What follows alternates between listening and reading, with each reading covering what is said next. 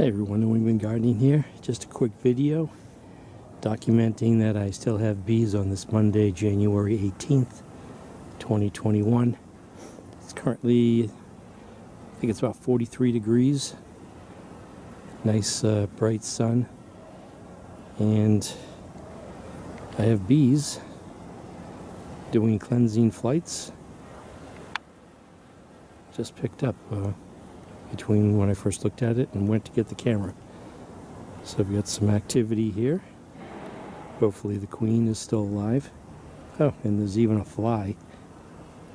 Look at that. Fly trying to make its way in. So uh, other than that snowstorm we had, what was it, December 17th, something like that? Uh, we really have had uh, kind of a mild winter so far. Uh, we had over an inch of rain the other day. It warmed up, but it was really windy and rainy, so the bees couldn't venture out. So today,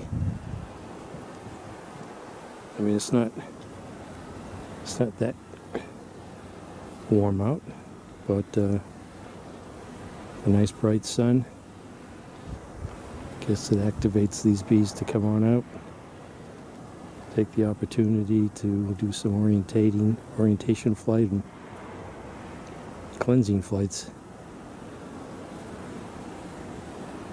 So this is New England Gardening on this Monday, January 18th, 2021. Halfway through January already.